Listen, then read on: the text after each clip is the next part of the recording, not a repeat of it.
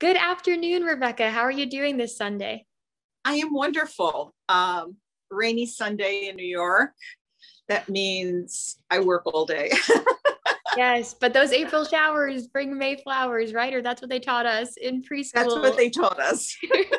I was funny. I was looking up the weather in Italy before we spoke because I was in that mindset. I just watched your Instagram live where you're talking about Easter in Italy, and it's raining there mm-hmm. too. So we might as well be um, in Europe. It's a shame. Oh, I know, I know. But you know, the whole world is adjusting right now. So, you know, I think we have a couple more months to try to get more people vaccinated and try to, you know, get a good understanding of how we have to take care of each other. Um, I think if we all just thought about not just taking care of ourselves, but talk, taking care of others, Yes. We could come out of this. Um, this has been quite an, a year and a half. And um, I think that we just need to, you know, be positive and be proactive and take care of each other. I, I think we're too selfish in our thinking as people all over the world. You know, we all want to run out and have fun and do things, but I think we really do have to be responsible for each other. Yeah, I find myself reflecting on that a lot lately as it feels like like oh pinch ourselves like is it true? Are we there? Is it over? But it's been such a humbling year and it's really shown humbling. we need to take care of each other like you said and how we, are so do. interconnected. Um it's crazy and I um I want to be mindful myself going into next year like how do we remember those lessons? Like how do we not let what hopefully what good is to come like erase what we learned in this time? And so oh totally. um, you know i was thinking about the adjustment that everyone has to go go through to you know when we as we slowly slowly come back into a new normal because it's not going to be the same. Mm-hmm. um and it and it and it affects the entire universe. I mean we're all all our lives have been uprooted and and changed and all ages from little children who didn't have the chance to go to school to college students to people who graduated and wanted to find jobs and they don't have enough jobs out there. So i think that if anything it would be so nice if we just came out a bit kinder to each other. Yes i think um so people say maybe that art is one of the ways that we capture history. And I think what's really special about today, and I'm so excited to see how you have used, you know, your talents and your background to really capture that kindness, capture what it's meant to be going through this as a community. Um, so thank you so much for being here, Rebecca. For everyone who tunes in, this is Rebecca Moses. She is an artist and designer hailing from New York today. Um, and I can't wait to to learn more about your story, Rebecca. I'm very happy to share. So I'd love to begin at the beginning. I was reading um, one of your your bios online. Maybe it, it sounds like you grew up in New Jersey. Is that right? Yes, I was born in Jersey City, which is literally across the river on the Hudson River from Manhattan, mm-hmm. and grew up in most of my life in North Bergen. I went to FIT, which is the Fashion Institute of Technology, a wonderful university, part of the State University of New York um, but a wonderful school for design, um, whether it be fashion or textiles or photography or interior. They have so many incredible specialities. And I went there for two years because in those days, those days, um, I think I was the last class that could have, it was only a two year program. So, and I skipped a year in high school. So I was very, very young. Wow. Um, so I graduated FIT when I was 18 and um, had a really incredible education, but so much more to learn because you can only learn so much in school.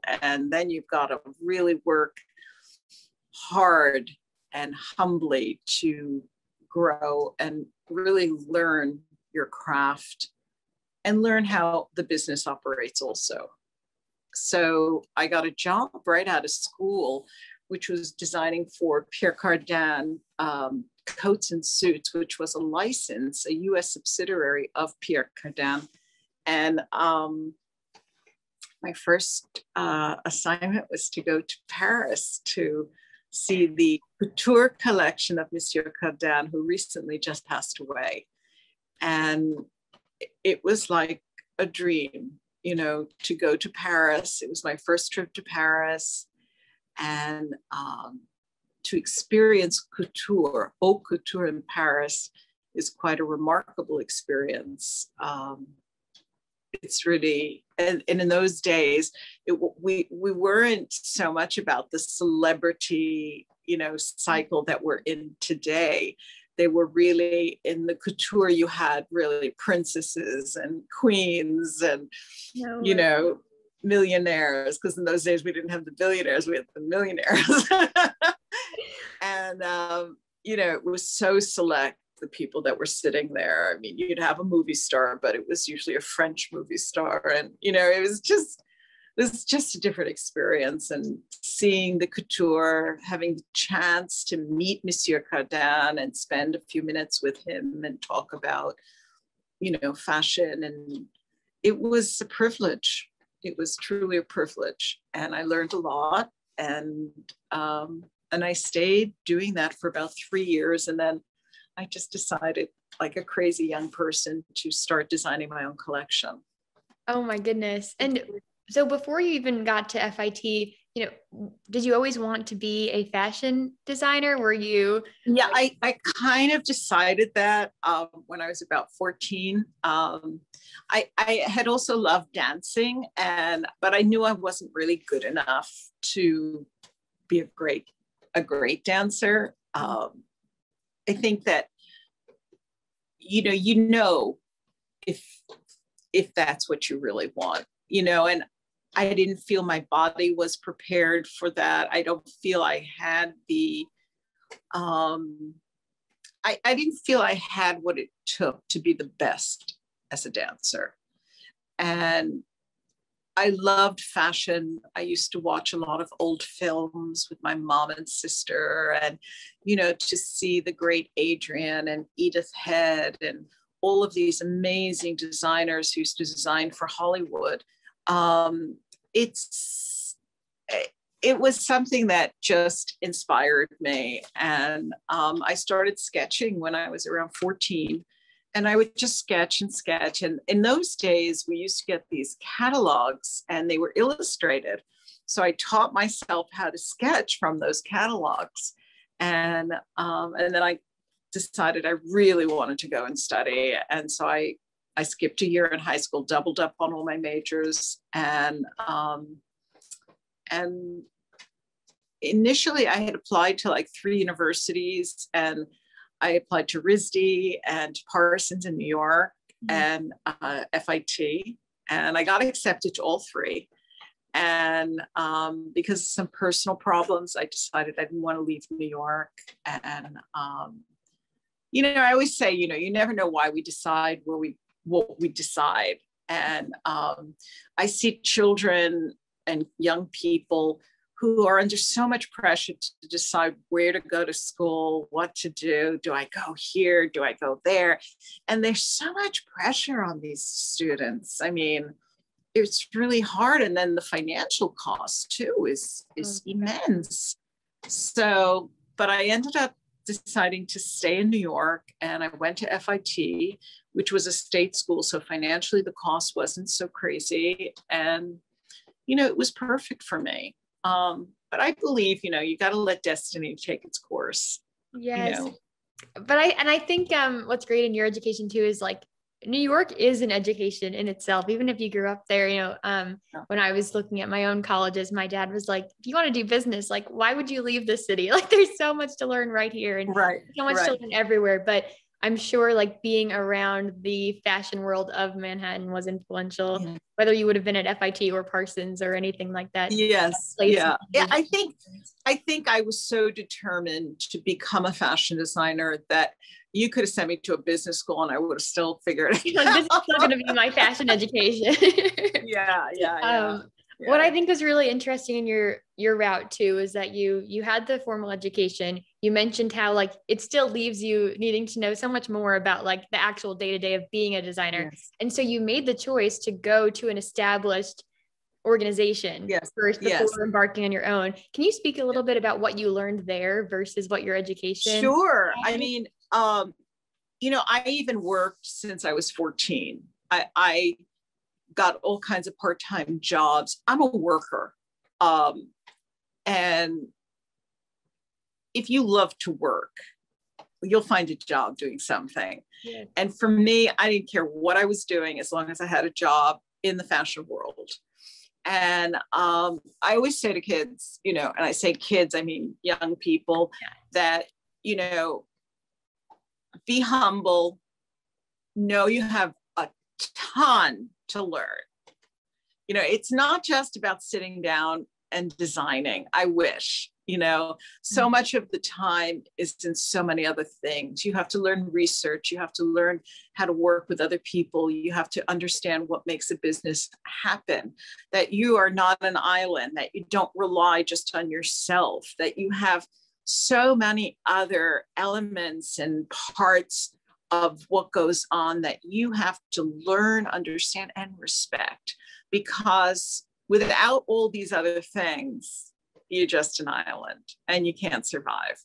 Yeah. So I, I, I mean, I had jobs in one part-time job. I used to take the bus into New York and hand paint T-shirts for a company.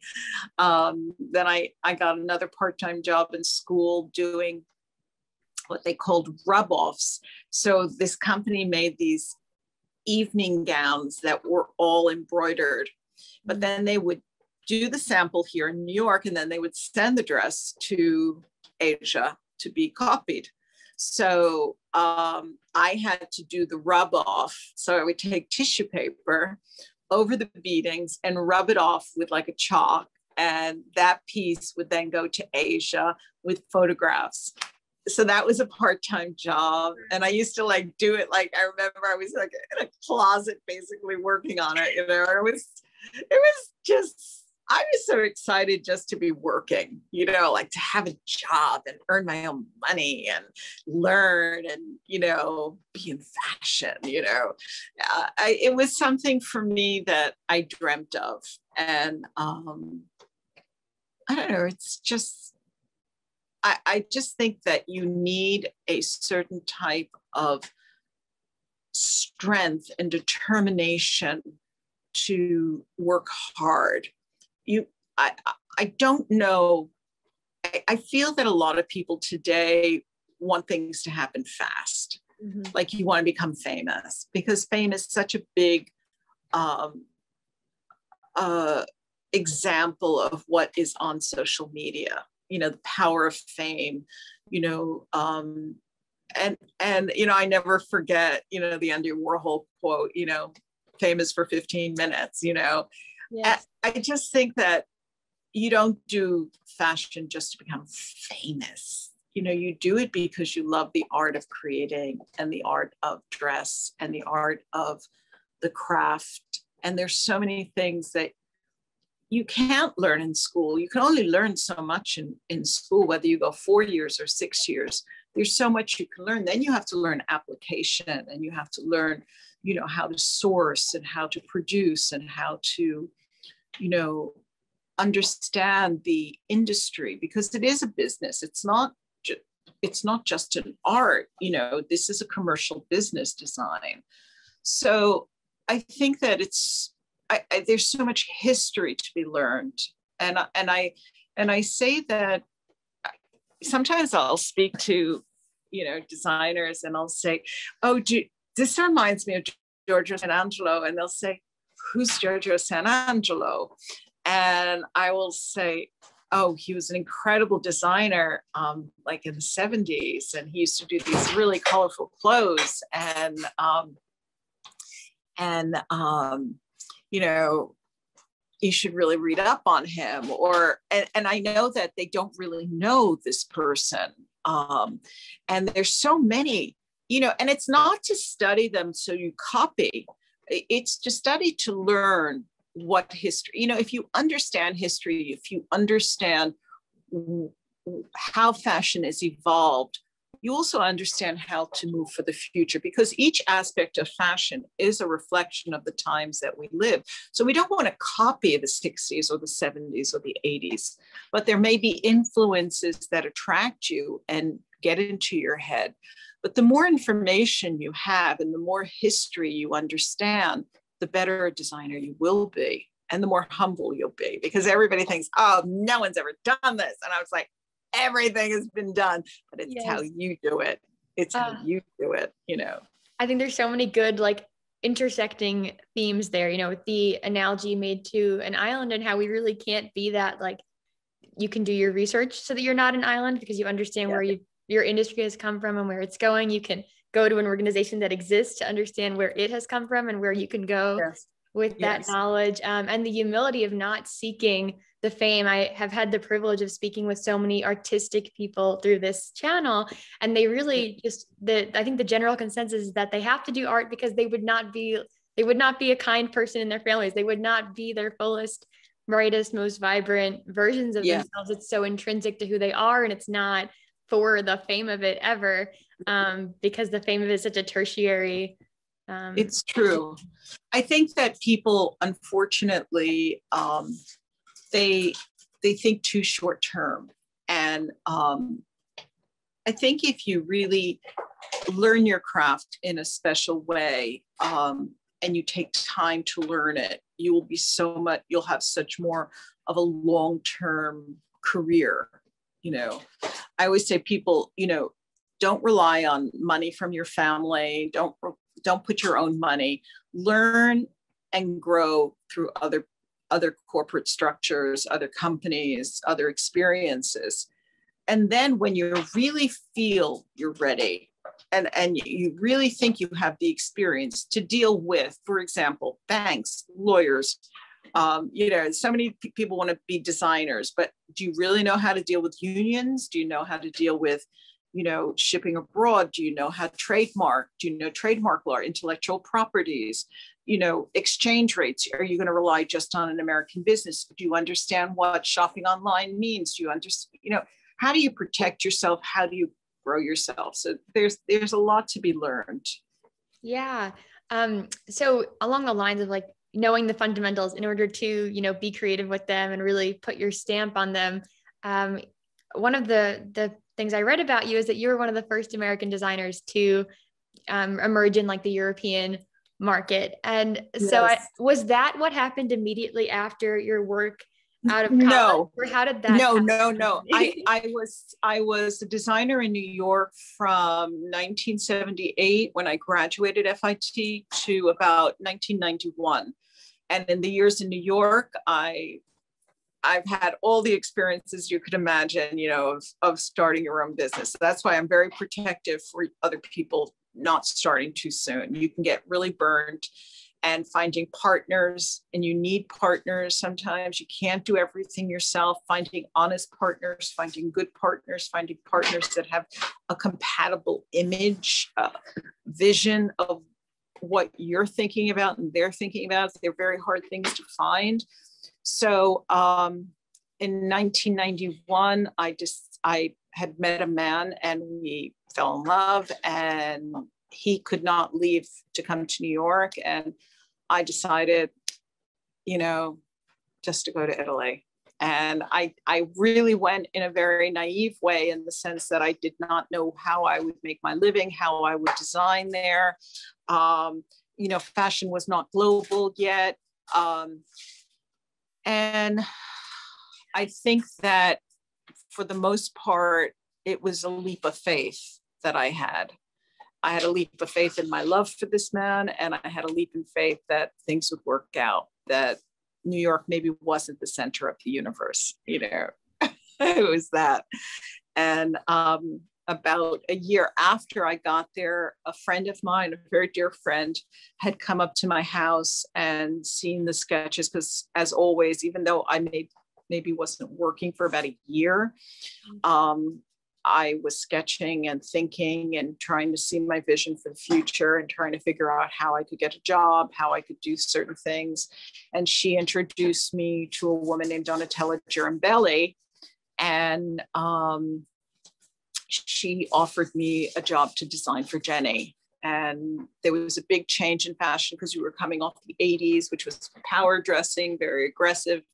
And um, I was more of a minimalist at the time and more about un- understated. Hold, can you pause for a minute? Yes, no problem. Hold on, hold on one second. We're back. Okay. So I think that when she, you know, when I met this woman and I saw the brand and I, I was really kind of intimidated because this was Italian fashion house. It was big house. And and I, I knew my look was very different from what was that house. And um, I just decided that I felt I had to go with it and this was the opportunity of a lifetime. And that the collection was designed by Gianni Versace for over 18 years, but he had also his own collection. So he he was at a he was like a big deal and big star, and he had to concentrate more on his collection. And here I was, this little American designer coming from New York, working for a major house. And, you know, I think it was looked upon from so many different ways. I mean, it, there were other Americans. Tom Ford had been at Gucci. He just got promoted to become the head creative director there. Um, Marc Jacobs had just come over to do a collection with Iceberg. And, you know, there were there were a few of us from my generation from New York that had come over, but we, you know, a lot of Europeans said, "Who are these Americans? Like, what do they know about fashion?" You know. so, we all think we're the um, center of the universe, right? The Europeans think it, the New Yorkers think it. You just you can't get away from it. yeah, but you know, I'm I'm made a little differently. I I've always looked in awe to Europe, but I also respected my upbringing and my values and the way Americans approach design, maybe which was a little bit more analytical and a little bit more, uh, we asked certain questions like, who is this for? Like, who are we dressing? How does she live? You know, it was more about lifestyle. Um, the only thing that in Europe, you had this incredible ability to produce fabric materials. You had the workmen and the culture and that that incredible structure to produce product that was on another level. So i really wanted to learn all of that. I wanted to understand what it was like to work in a couture salon what what in, in a, like a couture room where they made couture evening dresses or how to make the finest sweater that you could make. So i was open to learning and growing into this and using all this amazing access to talent that taught me so much. Yeah, I think what stands out to me also in in your story is that you know your friend connected you to this person. So like your friend had to know who you were, what you were looking for in life, and how you were hoping to grow. And I think part yes. of my understanding of you know what's important for us as um, like young people and emerging in of any profession is to have yes. a, enough of a sense of what you're stri- like what you're hoping to do and how you're hoping to serve the world that other people can be advocating for you and creating yes. like thinking of you when there is a, a time that that makes sense. Yeah it's so true. And and and it was in a, it was like a earthquake happening in europe. I mean it really was. I mean the walls of, of division were falling down. I mean, designers started crossing borders and companies started looking at designers from other countries. And it wasn't so nationalized, the fashion, as it was earlier. I mean, French fashion started evolving. I mean, Italian fashion started changing. You know, things change as other visions cross borders and enter. And um, it was a very exciting time to be in Europe. Yes. Um, so you mentioned a couple of minutes ago that before that point, fashion wasn't globalized and that it was nationalized. Do you mean that Italians were wearing Italian designers or that? No, I think that there was certain attitudes in each country that made it traditionally French. I mean, they you still have certain characteristics, but it, like when I got to Italy, you know, and I remember bringing my sketches to show the owner of the company, and she said, oh, "Rebecca, they're beautiful, but we can't show black because black is a, is a color of mourning in Italy. And I was like, really? I was like in shock because in, in America, black was the number one selling color. And how could you not wear black? And as I, I as I watched the culture and I saw how so many um, women would wear dark blue suit at dinner, you know, and, and it was there was tradition. There was what time of day you wore things where I was like, like when when she would say what hour of the day would you wear that? And i would say it depends what you do you know and and i know it sounds so strange and foreign but you know there were not rules but there were traditions. Mm-hmm. and people don't like their traditions to be changed so much. And um, so we had to evolve it very carefully because um, it was a big company and so we showed black we showed dark blue we showed and you know the stores that had the risk in them and the you know they would say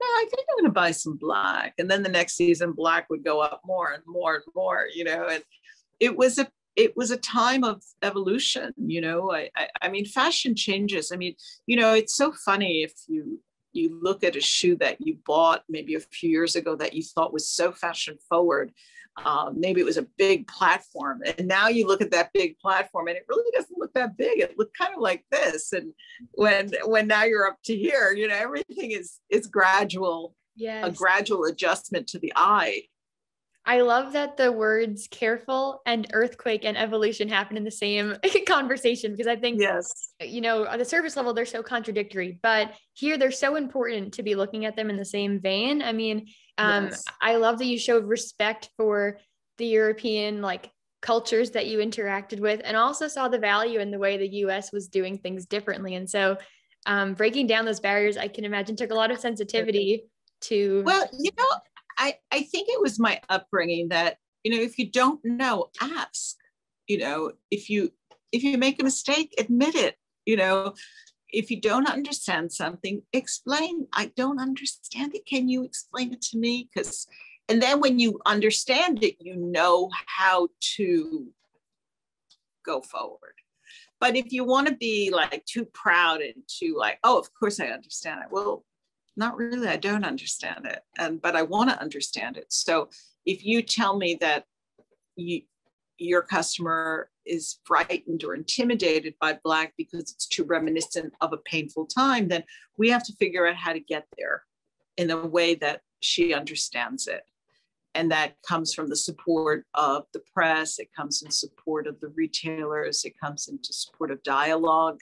Women saying, you know, I feel kind of cool in Black. And why is Black just black doesn't have to be just for mourning black can be many things you know so i think it's that's why I say, you know, sometimes you have to to plunge, but sometimes you have to think before you plunge. you know. And there's some artfulness to knowing the difference. Um, I'm sure. Yeah. Are there some favorite memories from that time in Italy, or what was the and and like how did your journey evolve from there? Well, it was really quite challenging because I didn't speak the language, and the language is such a different language structure than the English language. I mean, you're you're talking about a language that has formal and feminine and masculine and and understanding that is to understand the culture because you know you don't say ciao to anybody ciao is an informal that you say to a close friend if i meet you on the street i don't say ciao salve if right? i don't know you you say buongiorno or salve you know whatever you feel comfortable, but you don't say ciao. I mean, that's like so breaking the rules, you know, or, you know, you you call a, a, a married woman signora, a single woman signorina, you know, I mean, it, it's like all these different things. And it was really foreign for me because like, how do I know she's single? How do I know she's not married? Just because she's 30 doesn't mean she's married, you know? And, and I say, how do you know she's not a signorina? Or how do you know she's not a signorina? and people would look at me and I would go, I, I know this sounds strange, but it's like, we just say hello, you know, and, and you know, I, but if you understand that, you understand that there is class structure, you know, that there is like, like I would walk into a room and you know, say hi, everybody, you know, and everyone's like, oh, that's very friendly, you know. So, you know, I I used to have to like kind of learn my place in a way, but not that I never wanted to not be me, but I felt that I had a lot to learn about the culture and how to behave and how to not fit in, but not to make people feel uncomfortable. Um, and eventually, I, I think because I've I have such fond memories of the friends, both professionally and personally, that I made, and I think I made it because I was very open, which was something they weren't used to. Um, they weren't used to people sharing things like I would share them. And um, I didn't play the diva or the prima donna, you know, like, oh yeah, I'm so and so. You know, it's like, hey, you know, like, I, and that's the way I am because I don't, I don't see, I, I just know what it takes to be in life. You know, you have to respect everyone. I mean, just because you think your job is more important, it, it isn't. You know, I always say to like interns when they would come into the company, I would say, um, that person who just brought a box into you, you say thank you to because if they didn't have it, you'd have to walk across the building, go down the staircase, get the box, sign for the thing. That's a very important person. These people are all important. Without one of these people, your life would change. So understand respect. Person who's kind enough to bring you a cup of coffee, you say thank you to. You know, that these are things, it's just manners and behavior that and and no matter how important you are i used when i would hire people and we were small when i opened up my own company about uh, four years after i got to italy um, i when i would hire people i say if i can serve coffee you can serve coffee if i can answer a phone you will answer a phone um, this is like a small family here and we all have to know that the idea of success is on all our shoulders, not just one. So remember that and know that the customer is the queen. You know, it's not me. I got to serve the queen, you know, which is the customer. I got to deliver good design, good quality, good product, good service, you know, do it all. And I have to take care of my staff. I have to take care of the whole situation you know so it's a very it's a mentality that if you don't have it i don't see the longevity in someone's career if you don't operate like that you know no it's such an what goes around comes around you never know somebody you didn't think you had to be nice to or had to give proper respect to all of a sudden is at the other side of the table one day and you're saying oh shit why didn't i why didn't i you know Yes. Uh, to say, you know, you have to let people know when they've done something wrong or whatnot, but you need to work in a in a well-mannered way. Yes, I um I think that that ideology and like that just that mindset is so important. And if we remember just the ways that um we've been privileged and that we've ended up in these circumstances that we could not have possibly predicted to some extent. Yes. Um, you know, like that's a really helpful maybe for for making sure we are equally kind and respectful. I agree. I agree. um, so, so you were overseeing this fashion house in Italy, but eventually you came to have your own label, right? You made um, like cashmere. So yeah. So what happened was I was with Genny for five years. About three years into my contract, I decided I wanted to start a small cashmere collection and it ended up being much larger than what I expected it to be. And I wanted to change the whole mood of cashmere. I wanted to get it into beautiful colors and fluorescent colors and pale colors and dusty colors. I wanted to really show it in a different side and make sexier clothes at it, more feminine clothes. And um, we opened the collection in 1997 and, um, and we sold all over the world. Um, and it was it was a very exciting time. And um, a year after that, my first son was born, Max. Yeah, and then three years later, my second son was born, Benjamin. And um, and then I was advising other companies, and um, uh, I did a whole big lifestyle project for a company called Pineider, mm. which was really um, a stationery company that made handmade stationery, and I made that into a lifestyle brand. And um, you know, in Italy, designers can consult and advise other companies. So I did that for a while, and then in 2009, my husband got very sick and um, he he passed very quickly, uh, like in six months, and um, and that was a big turning point in my life uh, for my children and for myself. And um, about it two years before I closed my company, um, and I decided I would bring the boys to New York with me for a while and see. I wanted to kind of get out of Italy for a little while because it was really too painful for me and for them. And I wanted them to have their studies and not be in this small environment, um, kind of have a fresh start. And so I came back to New York with them. At the same time, I was working on a book that I had done with Monacelli Press, which was then owned by Random House, called A Life of Style. And that was published in 2010, literally the year my husband passed away. So um, it was a, a, very big turning point. And I decided that uh, I wasn't sure what I was going to do in New York. Um, because after you have your own company, your own brand, I mean, coming back to New York, it wasn't like it's not like Europe. There's not all these companies that need, you know, advice and it, it's different the way it operates. And um, I decided that um, I, my the editor in chief of Italian Vogue said, Rebecca, why don't you start doing some illustration stories with us and put your focus on your art for a while, which gives you time to focus on the kids. She was really great mentor, great friend, Franca Sozzani, and she gave great advice.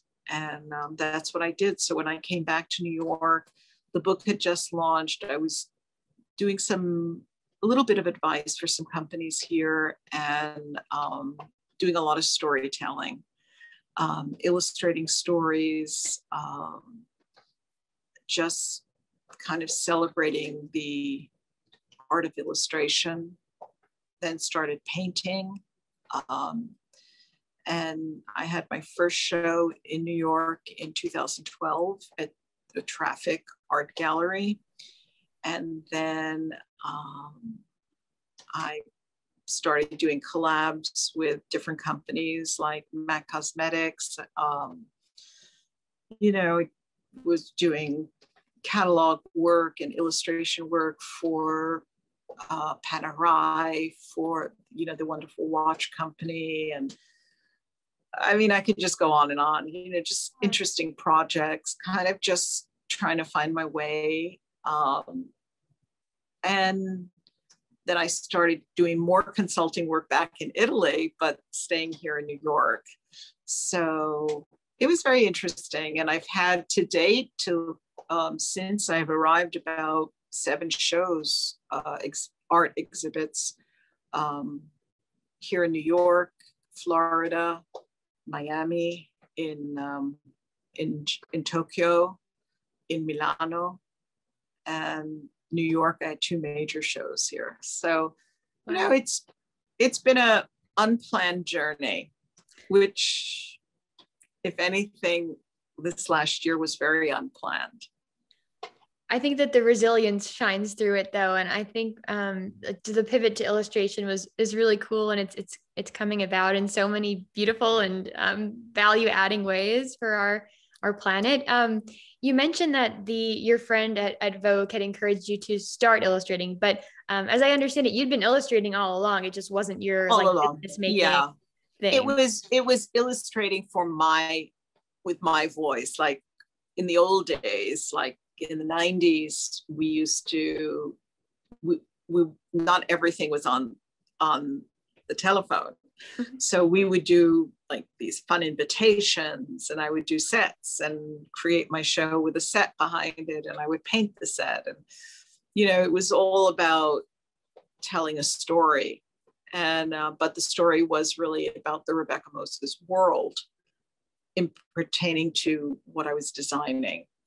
So when I when I left and I didn't have let's say the Rebecca Moses brand that I was illustrating, it started to evolve into more of my vision of women. And I felt that women really needed to be celebrated more, um, that they needed to be proud of their uniqueness, about their individuality, about the way they looked, the way they acted, who they were and not to be embarrassed for their oddities or uniqueness, but to embrace them. Mm. So that became the underlying message in my paintings, which was to say to women, own it, own who you are. Don't, don't even, and by owning it, you got to celebrate it. You've got to really like if you have an eye that dips down when you talk, own it. You know, if you have a nose with a hook on it, maybe you should cut your hair short, really make it, you know. Yes. So it was like me saying, you know, okay, like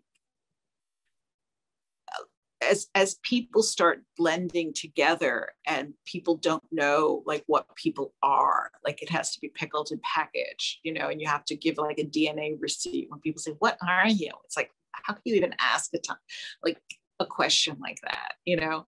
Mm-hmm. so i love celebrating people that say i am who i am and i'm going to celebrate it.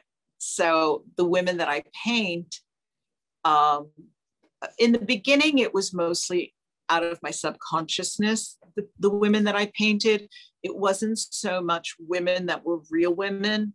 They came from bits and pieces of my memory since I've worked with so many remarkable women through my career. I mean, you know, I mean, I think when Naomi did Naomi Campbell did her first show for me, she was 15. You know what I'm saying? It was like, you know, all these women that became supermodels, we kind of grew up in the the, the business together. I mean, maybe I was, you know, five years, six years older, but you know, I saw these girls when they were starting, you know, and and so it's very interesting watching, you know, as my art developed, I was allowing myself to grow and to express and to try to also figure out what was the purpose of my art. Um, because I've always created with a purpose.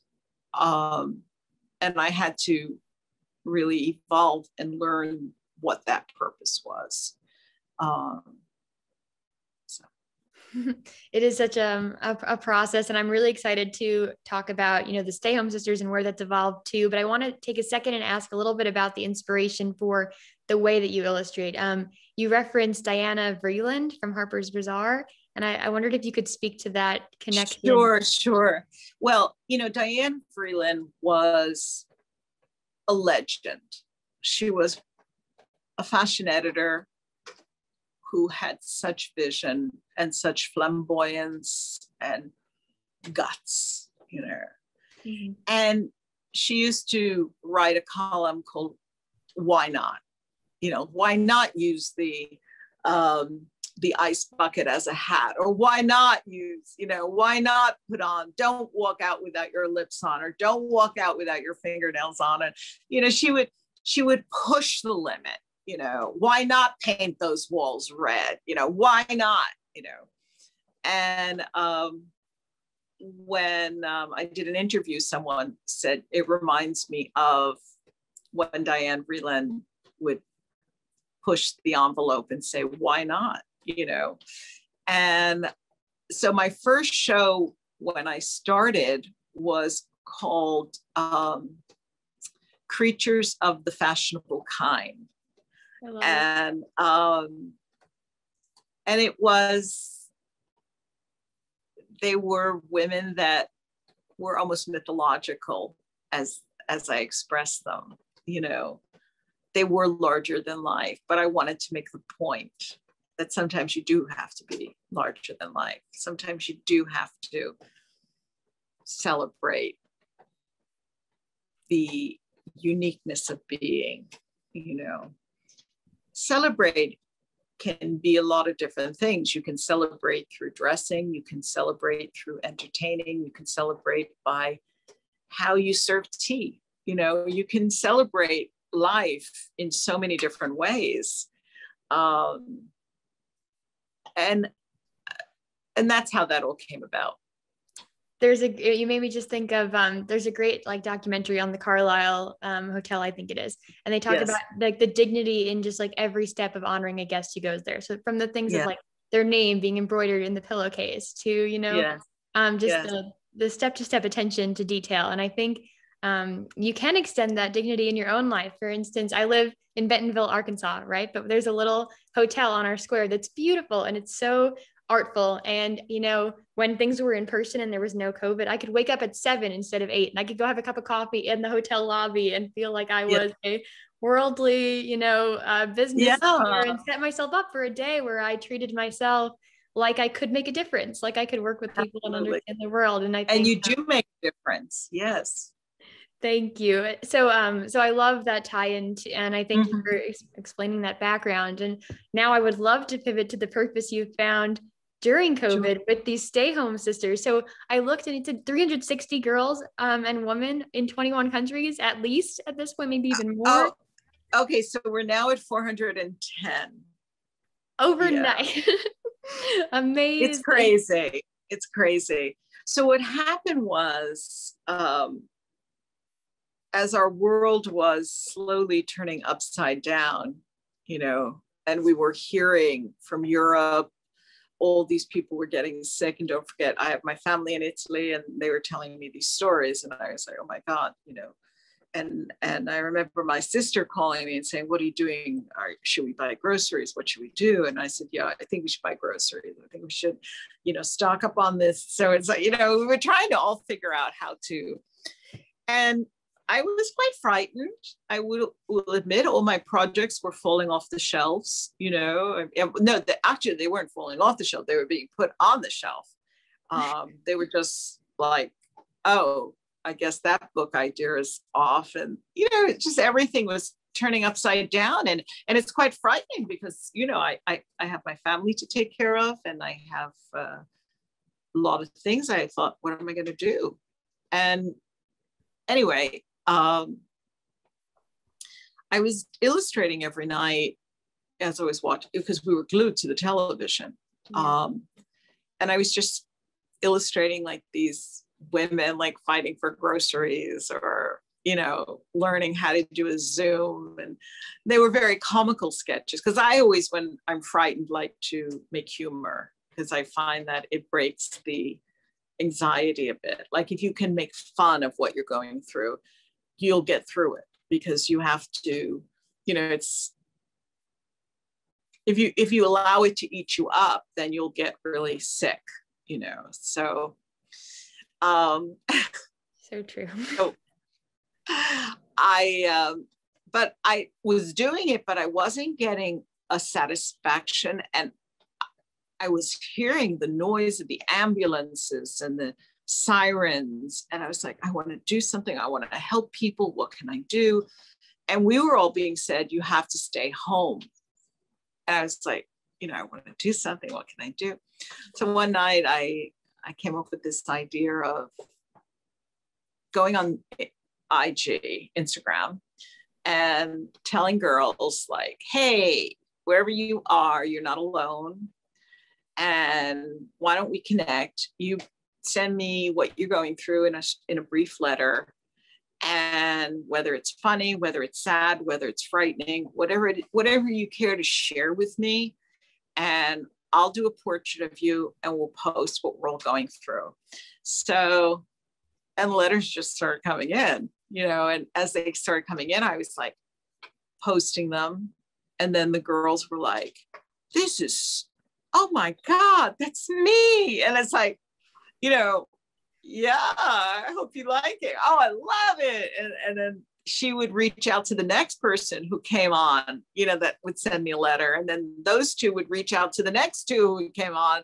And so the stay home girls in a short time became the stay home sisters because these women were all connecting. Yes. And it became like this little tribe of women from all over the world that had the need to connect, um, whether they were alone or not.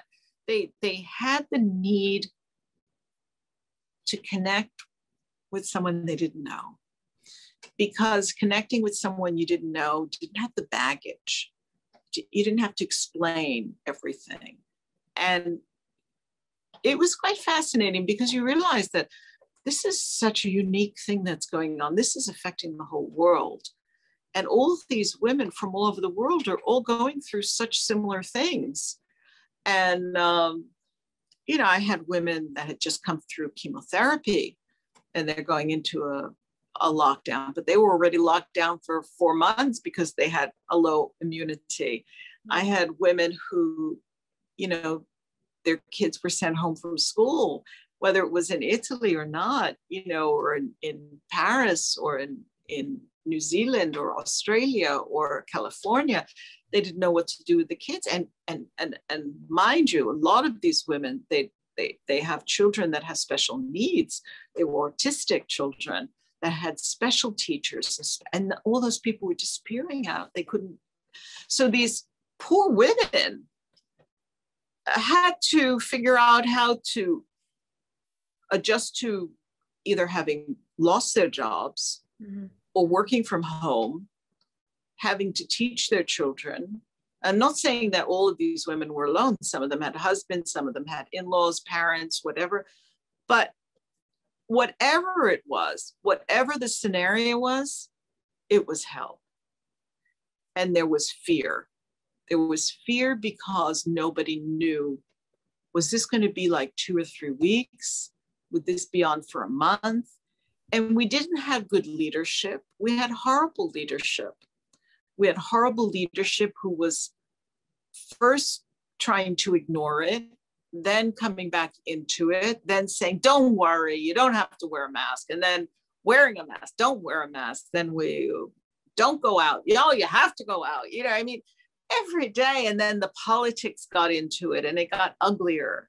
Mm-hmm. And life became so, we say in Italian, pesante. It got so heavy. It was heavy and intimidating and frightening. And people needed distractions. And I think connecting all these girls together, we all started connecting with each other. I was painting like a maniac, maniac. I've done in 2020 probably at least 400 renderings. Amazing. And I was, I, I said 2020 was the year I discovered a nap because I couldn't sleep because I felt like every time I was doing one, the woman would write and say, You gave me hope. You gave me, you made me feel good. And I said, Oh my God, I've got to paint faster. I've got so many more letters. So I would just keep painting more and more and more. And um, so what, what I would do is I would just be painting, then I'd go lie down for like an hour or so and then get back up and go back painting for a few hours. Then I'd go back and take a little nap and come back. And, so I was like kind of, it was just bionic. And I the adrenaline that I got from it, that I saw that maybe I was actually doing something good to help these women. And it was making, it gave me purpose you know it gave me a sense of purpose that's as simple as it can be yes i read the article in the new york times about the portraits you did specifically for the nurses at mount sinai mm-hmm. and i could feel yes. the sense of um, responsibility in it too to honor the woman in ways that were uplifting for them and you know you mentioned how past portraits that you did were not of like real people necessarily. Um, yes. So did that did that weigh on you at all? Like, how did you? Oh yeah, I mean, that? it all weighed on me. First of all, I wasn't sure if I could do it. I mean, because most of my women came from my imagina- imagination.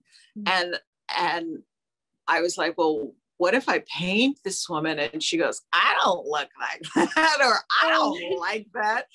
But I always say to people that when an artist paints you, it's their vision of you. It's how I see you. Now, maybe I'll look at you and I see your hair and I see your headband and I see your brow shape. And maybe that's what I'm going to focus on. It, it's what we see in each other that we want to capture. And I think that there was something I would like look at their Instagram page and read their letter and try to understand who this person was. And sometimes I would take it from an image from an Instagram photo.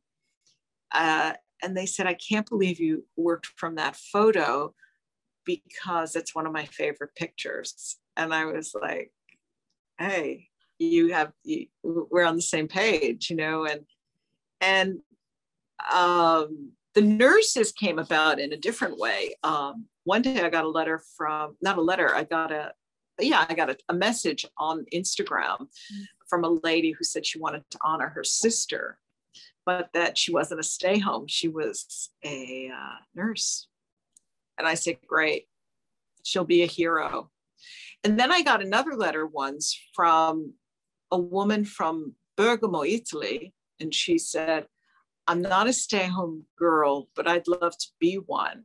I work in a grocery store, and my husband is a medic who works in an ambulance. And Bergamo was so badly hit mm-hmm. in Italy. It was one of the most worst regions. So it was quite amazing. And I said, no problem, you're a frontliner, you, you have the rights, you know. And then afterwards, so the first pic, the first painting I posted was in March 31st, 2020. By May, I decided that I wanted to bring these women on Instagram Live to give them a platform because there were a lot of interesting things going on. Some of these women lost their jobs or they had to figure out ways to, like one woman, she had a bed and breakfast and she had no clients. And she had to figure out how to make money. So she started making you know, embroideries and things like this.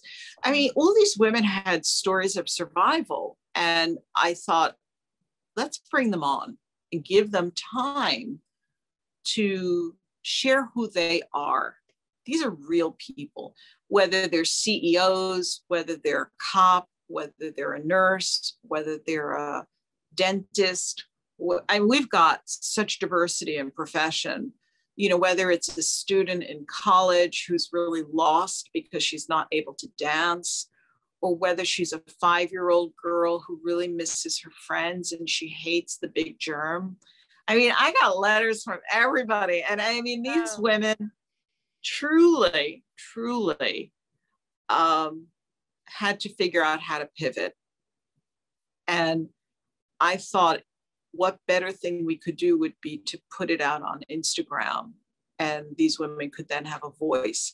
Because I feel that so much attention goes to celebrities and people that are famous. Mm-hmm. But there's so many remarkable people out there that are not famous, that are not rich, that are not, but they're doing fabulous things. And I think we have to truly give them a platform to be able to speak and share because they could inspire others who don't think they could do what they did.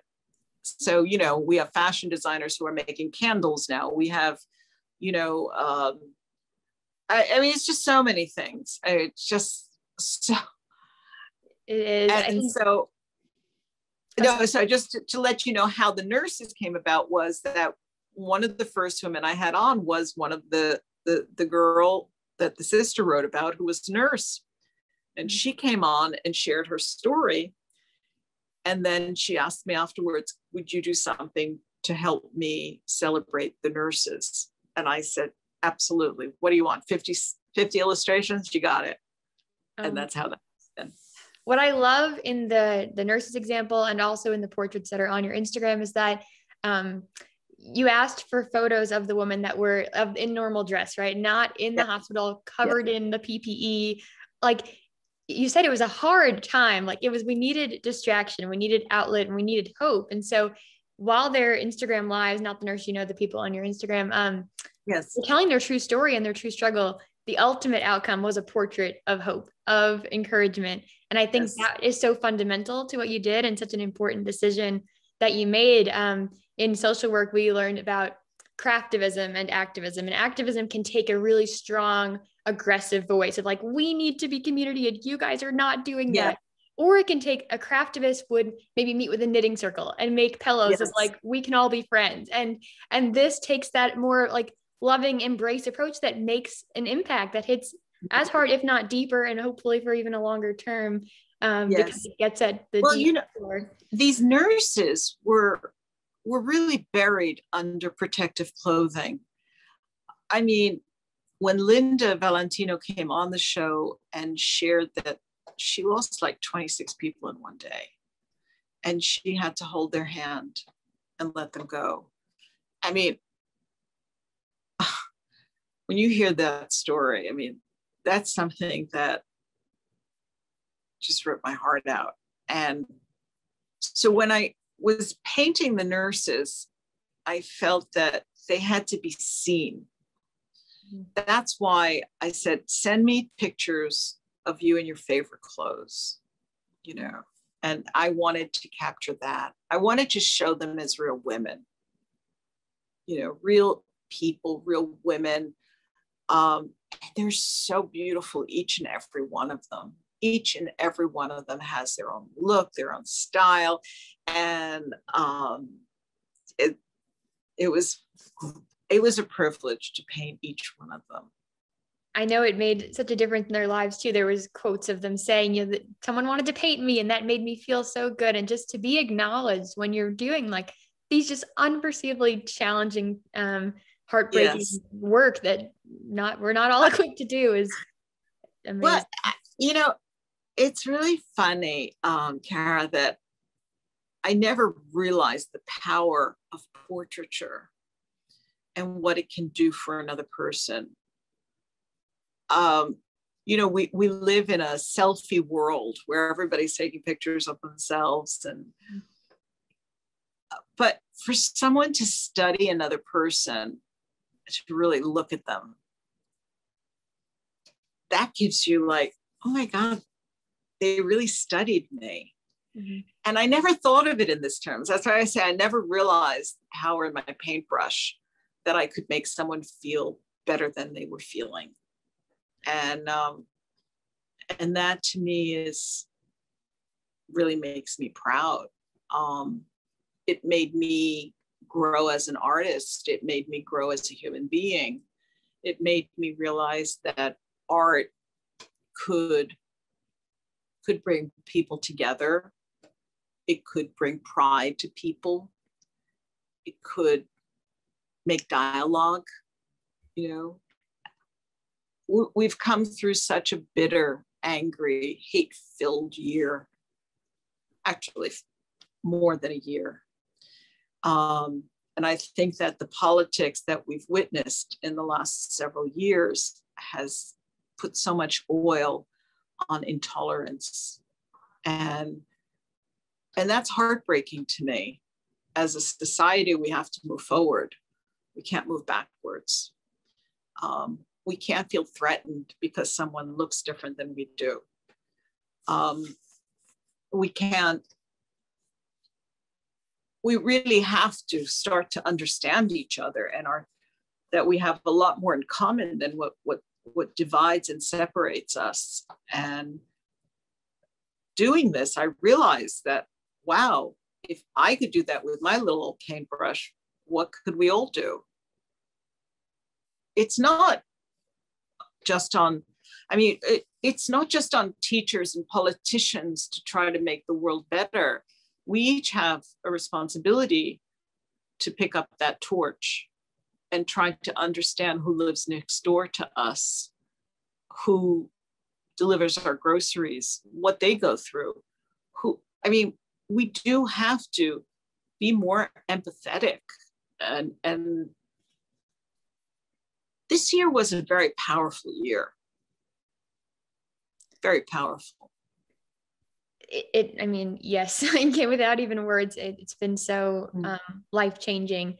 How do you think um, this year and the way your work has has slightly maybe pivoted focus in this time will um, be like part of your future? Like, will this be the way your your work looks in the next mm-hmm. five years? Like, are you beginning to think about what hopefully post COVID, um, Rebecca Moses is focusing? Oh God, every day I'm thinking. Uh, every day's a new day, and I think the thing in life is to to always keep pushing yourself forward, not to go back, but to go forward.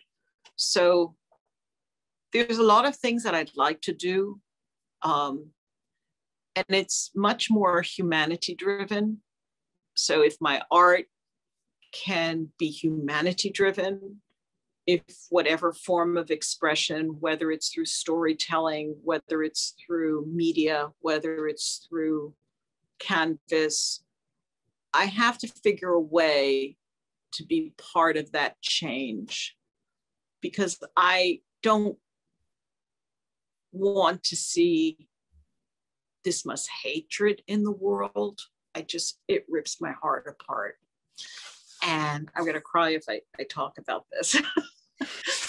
but um, I don't know, we just have to change this world. We have to make it a better world, a more kinder world.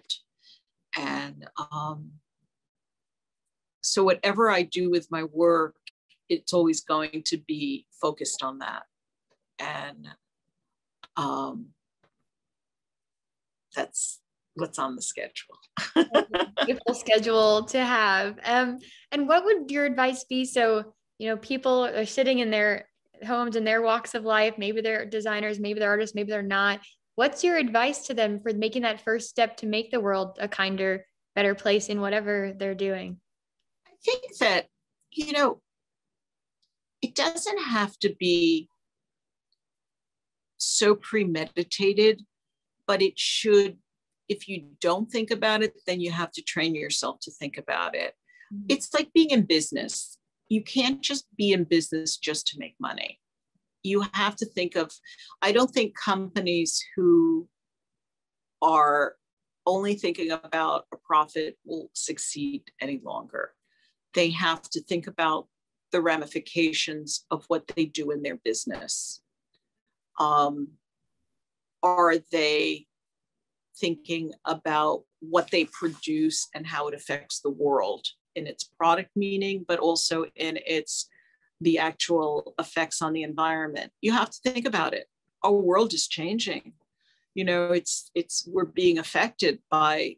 I mean, we have so many people that are so many stay-home sisters who are that have businesses that are all based on sustainability um, one woman from Italy, she makes, she takes all the products that come out of the kitchen that like have like the like downy and the, the cleaning products and she turns them into jewelry and, and objects.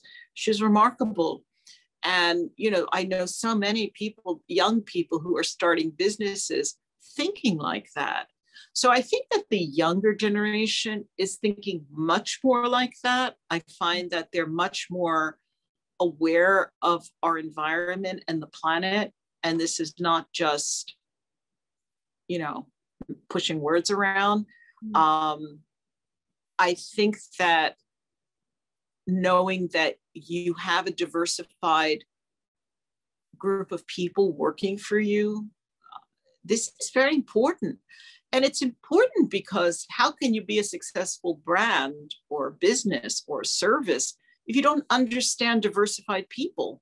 So I think that besides being having a moral compass, I think it's also about knowing what makes success is understanding the diversity and the diversity in cultures and needs and that will make you more successful. So I think that we do have to be more premeditated in what we do and how it affects people.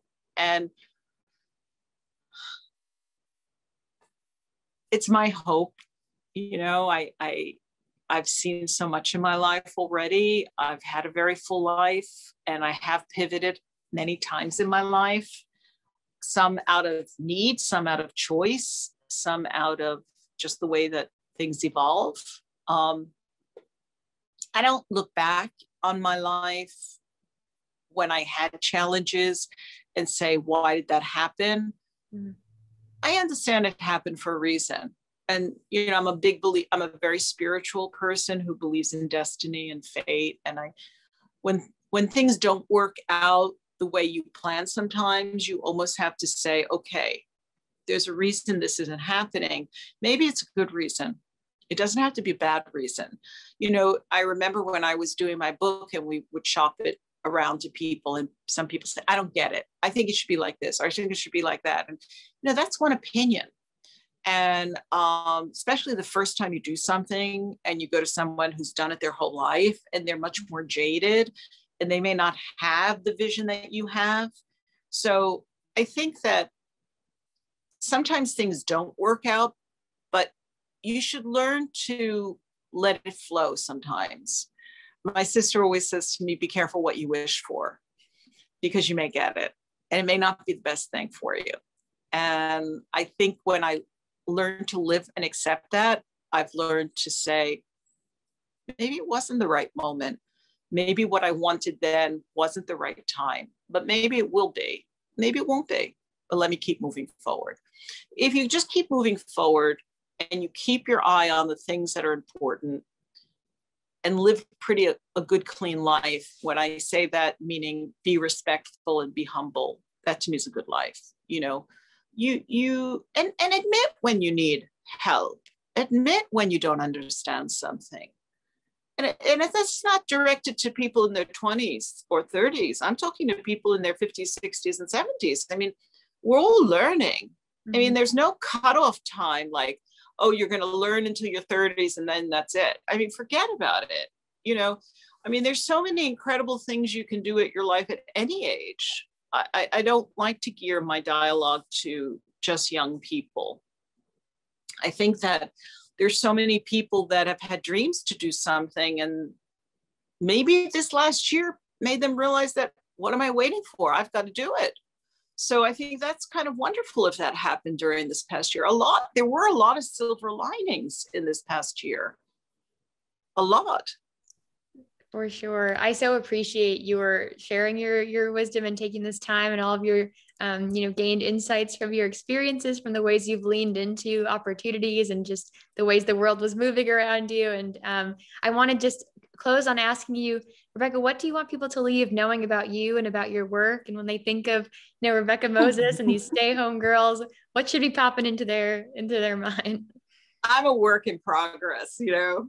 I, I'm definitely a work in progress, and I I hope whatever I put out there is good and positive, and you know, I just want to keep growing every day, and I hope people will appreciate the things I bring out through my work.